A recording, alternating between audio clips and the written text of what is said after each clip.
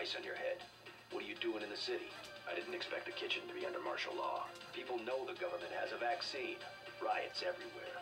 You still on the dole at UNATCO? I never mentioned. I've been working for the NSF all along, and the Illuminati. I'm on your side. Right, the Illuminati. I need to find one of their leaders, Stanton Dowd. A load of plague virus is on its way to New York. Virus? You mean the Gray Death? What's Dowd got to do with it?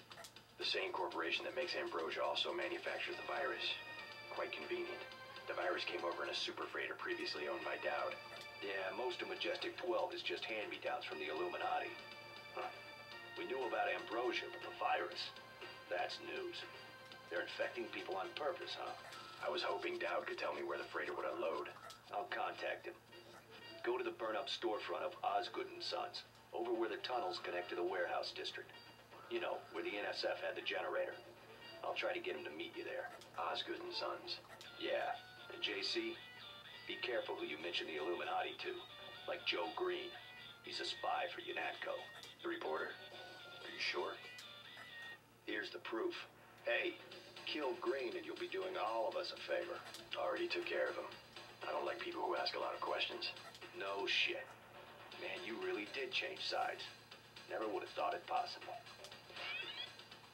Thanks for getting rid of that guy. They're dropping like flies. Dowd doesn't like to be contacted directly. You'll have to trust me. Someone will meet you in the alley. Thanks for getting rid of that guy.